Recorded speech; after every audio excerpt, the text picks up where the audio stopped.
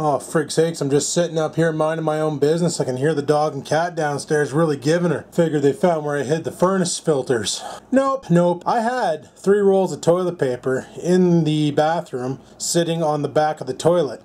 You know, in case of emergency, reach back, grab some ass wipe, wipe bum, flush, go about your business. Go downstairs, two out of three rolls are in the living room, shredded to shit. I left the bathroom door open, and as a return for doing that, Scampers decided, let's wreck some toilet paper. Well, this is the third roll she had. I don't know if it's picking up, but uh, yeah, there's fucking chew marks in it, and uh, can't give that cat any leverage. It's almost like I need to lock her in a little room somewhere and let her realize, you know, slowly introduce her to the rest of the house because she just can't be trusted. She's off her frickin' rocker. Like, just nuts. But, what do you expect? Cats will be cats, eh? She'll be a, uh, well, she'll be a cat soon. She's getting bigger, so that's a bonus. But oh my god, she's just so damn destructive, and I think I say that on every freaking video. This is why I really hate kittens, because they just don't care. And Felix was like that too, until I brought him in and got his nuts removed and the same with his claws. Then he tamed her down a lot because he realized, okay, I better not piss this guy off or he's going to take my dink as well or something. I don't know. But uh, he calmed down a lot after he was neutered, and maybe that's what she needs is a sexual tension gone by taking off her freaking junk. So uh, tomorrow I got to call the vet, find out uh, when we can get shit going, and get the cat uh, friggin' de-vaginaed or whatever they call it. And then she will not go into heat ever, which will be nice because uh, one thing I hate more than anything is a freaking cat in heat. Oh my god, is that ever annoying! My buddy's cat, uh, I can't remember the name, but uh, they never got they got the one cat fixed, but they never got the female cat fixed, and like the cat would go into heat and it was just meow, meow, meow, like non-stop. You're trying to sleep. This cat is meowing, and it was like you wanted just a field goal, the son of a bitch, because it was driving you up the walls. Like, and if you scratched her bum, she'd like present herself, and it's like, oh, dude, don't do that. What's a matter for yourself? You know, you don't do that. But um, the cat was in heat. What could you do? Not too much. Well, I'm just editing up some video footage here for Skavaen Games. Uh, it's Project Zomboid. Uh, Crazy Logie showed me that uh, we can play multiplayer now. However, this is the first time I've done any multiplayer with Logie since I started using the Action Recorder by Mirillis. And I didn't realize Action Recorder doesn't record Skype. And it's such a shame because on this game, like, I'm just gonna blow it basically, they were playing from, I would probably guess, like Logie told me, they put six hours into it, and they're setting up a farm and a defensive and all that. And within like an hour, I managed to ruin everything. Everything! Like, ruined! Like, just wrecked it all. And it's so funny, the commentary from Logie because like he's like nonstop, man, I can't believe you did that. I, I can't believe you did that. But as if you did, like I can't, like nonstop. Like I'm like, dude, I'm freaking sorry. I didn't mean to, you know. Fucking thought I turned the fat on the stove off. I could have sworn I turned the fat on the stove off, type thing. And I was like nonstop, and oh my god, it was just hilarious. You know, it's not like I led the horde back to the farm or anything. Mind you, I could have. I found a lot of shotguns and shotgun shells. Totally could have ruined the day that way, but Super didn't. I took a more passive aggressive approach that kind of cocked things up a lot, so go team me. Anyway, I'm pretty sure I'm going to sell the trophy truggy. As you can tell by all the dust on the spoiler here, it never gets used. It was the worst purchase I ever made. It was one of those, everybody's like, yeah, man, get a truck, get a truck, get a truck. He's freaking awesome. Come up to the beach and we'll bash and come up to the sandpits and we'll bash. And then I got a truck and I went out twice and put maybe 30 minutes on the truck and not even half a battery. And uh, everybody sold their shit and quit. So now there's nobody going out trugging or RCing and bashing and all that. And I have no use for this thing. I think even Rex sold his off Rex had a Tamiya or Tamiya or however the hell you pronounce that name. And I had this beast, and you know, like I rode it around for a while, and like frig. Well, I didn't put the new suspension in it yet because uh, we never went out. But like, look at the underbelly on this thing. A couple scratches here and there, but this is not too bad. It's pretty mint. It's pretty clean for what it is. Like I said, 30 minutes of freaking riding.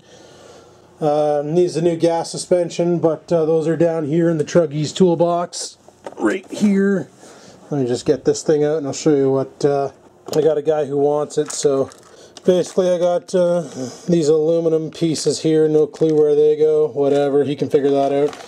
And I got these two sets of uh, gas struts or oil struts. Four batteries for it. Whatever. They can. Uh, he can have those. And the Venom charger. Do not want. Plus there's a bunch of junk in here. No idea what the heck this is, but it's there. It's going with it.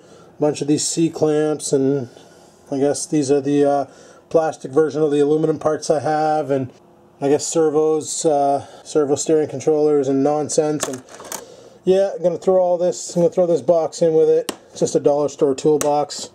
I picked up, put all the truggy shit in.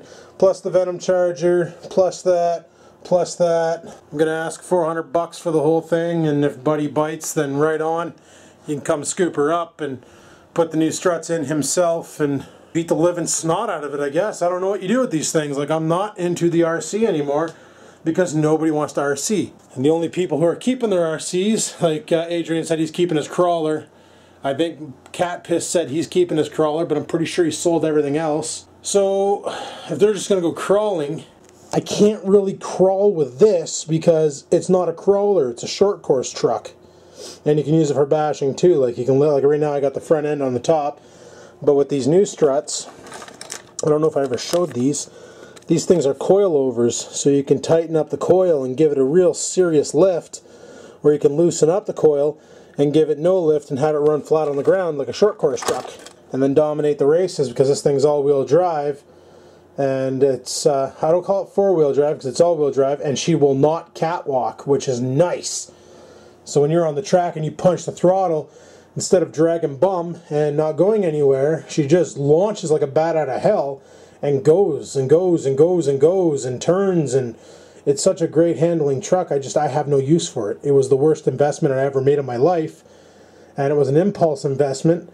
And you know I spent about seven it was about seven eight hundred bucks for everything somewhere around there because the truck was like 565 the batteries were I'm not sure how much I paid for those batteries. I think they were like 20 bucks a piece and I ended up buying uh, six of them.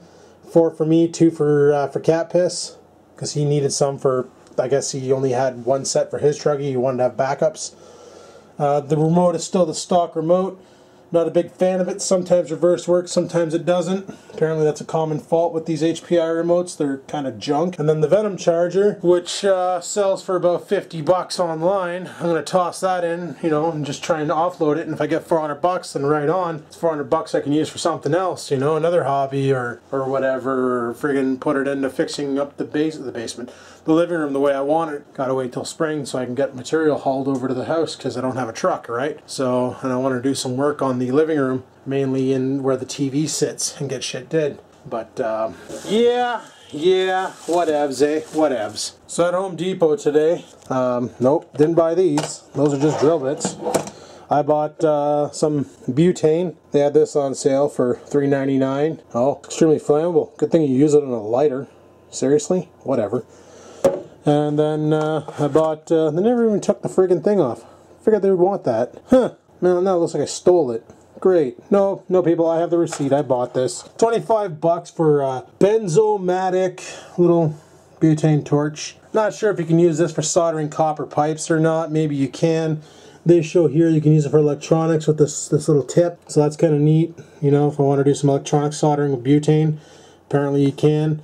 Uh, I've never used butane. I've always used my uh, electric soldering iron to get the job done, but I'm to say fire doesn't come out the tip. What it does is it heats up the center coil, getting this thing nice and piping hot and melting solder for you, so that's pretty awesome. But what I want to use it for is wrapping coils, and what you do is, for instance, here's your Kanthal, right?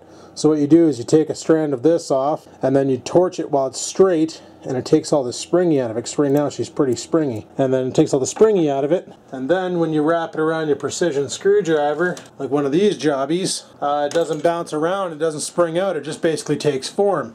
And then when you take your coil off the screwdriver you pinch it with a pair of tweezers and give her a good blowtorch and it'll hold that shape and then you got yourself a nice little micro coil and or a nano coil or a micro nano coil or a super nano micro coil or whatever the frig they're calling it nowadays. I give them names of these coils like crazy. But I've wanted a torch because I've been using a Bic lighter. The problem with the Bic lighter is it leaves a black film on the Kanthal. So you really got to dry burn the shit out of that coil in order to get that carbon off. And then you got to wipe it down with a Kleenex to get all that carbon off because otherwise your first couple vapes taste like fart. Also, for like three bucks, I bought this roll of self-adhesive of wood grain because what I want to do with this nonsense is this is the Vamo that I bought at Blokes. It's gunmetal, really nice device. Screen's really well done, you know, works really good. But I had some juice in the Pro Tank called Cinnabon, and the juice leaked out because these Pro Tanks are notorious for flooding when they're in stock form. Right now it's at the air ring controller, doesn't flood, works really good. But they're notorious for flooding in stock form and then the juice leaks out of the 510 connector and then this beauty ring comes right off and the juice will leak out through these threads and roll down. And this is what happened. Yeah peeled the gunmetal finish clean off the Vamo. Just ruined it. So I was really upset by that. And the worst part is is bloke knew it was going to happen uh, when we were back at his house after I bought it, he's like, he's like, those finishes never last, mate. Those finishes never last. And I'm like, well, what do you mean? Like, I, I didn't realize it was just a friggin' Lee press-on painted gunmetal. I thought they actually stained the tube gunmetal. I didn't realize they just trem cladded it. But, um, yep, ruined. Looks, looks stupid now. So what I'm thinking is wood grain Vamo. That might look kind of neat, you know? Have a wood grain friggin' Vamo. I'll even uh, do up the beauty ring maybe. Probably not, but I don't know. We'll see. We'll see how adventurous I get. And what I'm thinking for the buttons and that is I can just use my X-Acto knife and go like around the edges, cut that off, and then peel off the adhesive. Do that same around the buttons. Do it around the slits because this unscrews, this unscrews, the bottom cap unscrews. Look at the bottom cap. Like it's just right, just shot just ruined. You know, the other option I was thinking was sanding it all down and then painting it like lime green or some nonsense. But then if I paint it, it'll just happen again. So I think this vinyl wrap is the best way to go. Now you can buy vinyl wraps for these mods off of, uh, there's a bunch of people who sell them. My only problem is, is I looked up a bunch of the vinyl wraps on eBay and uh, on the internet and stuff, and for a vinyl wrap for that Vamo, you get one, and they're like six, seven, eight bucks. I paid four bucks for this whole tube. Even if it takes me three tries to get it right, I'm still going to have a lot of material left over. And I'm going to learn.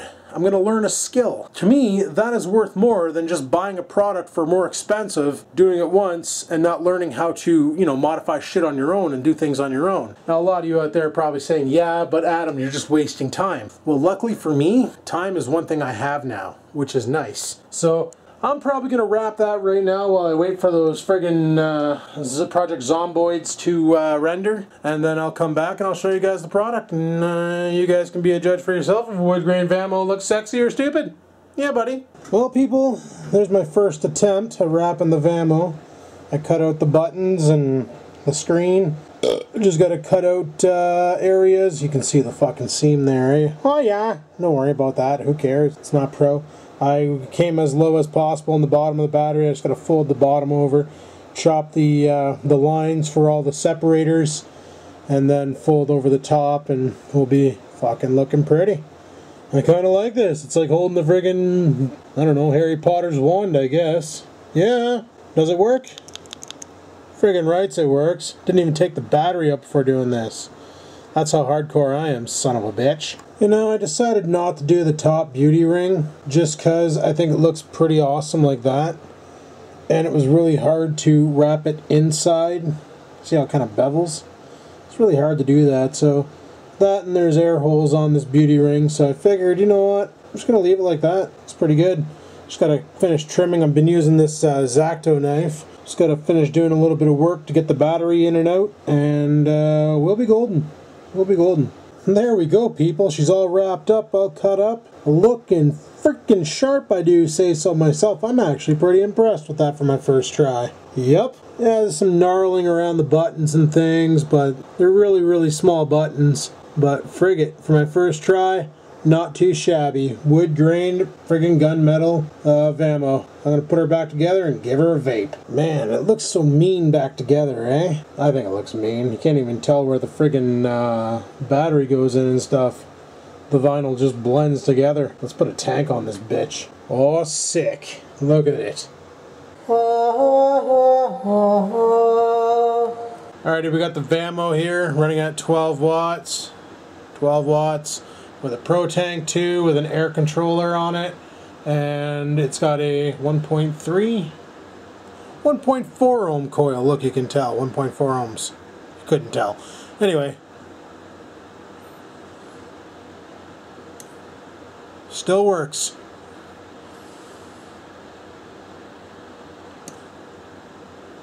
Beauty. Oh man, I love this thing. Now it looks so awesome. And what I love about this vinyl is, um, let's say I want to change it up. The backing on it is this really weird like adhesive. Like, here, I'll show you. So I'm going to super stick it to the table here so it never wants to come off, right? And then we got a little wood grain finish on the table. Oh, I want to get it off. Oh, okay. You know, whatever.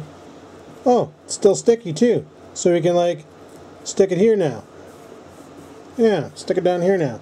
No, I don't want it there. I want to, I want to put it over here. You see, like this stuff here comes off so easily, and it leaves no film on the desk or on the surface. It's I don't know if it's 3M. Is it 3M? Are, are, are, you, are you 3M? Or what are you? I don't know. It doesn't have any 3M branding on it. But um, friggin' really nice stuff, and I've used it before on uh, the legs I made. You remember that board, those legs that were on it? The one that's holding up the monitor? Well, I've used it on that, but I used the uh, faux leather, which I almost bought today, and I was to wrap that in full leather, faux leather, false leather. But then I saw the wood grain and went, fuck yeah, wood grain. That looks cooler. Let's go with wood grain. And I did, and I'm really happy that I did because, like Rip Trippers would say, that looks sick as tits. So right on, got ourselves a friggin' wood wrapped Vamo.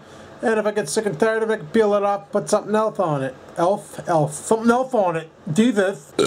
But anyway, people, I'm going to shut her down here, so hopefully you enjoyed this quick little video on uh, all the nonsense going on, selling the Truggy and wrapping the Vamo and, and the blowtorch and all that other awesome shit. If you did like this video, click the like button. Questions, comments, concerns down below they go. And until next time, people, keep on vlogging.